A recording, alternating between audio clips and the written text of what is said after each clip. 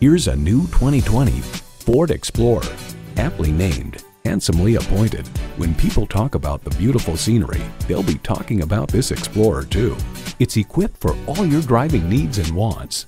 Integrated navigation system with voice activation, power heated mirrors, dual zone climate control, configurable instrument gauges, doors and push button start proximity key, voice activated climate controls, automatic transmission, active grille shutters, gas pressurized shocks, and intercooled turbo inline four-cylinder engine.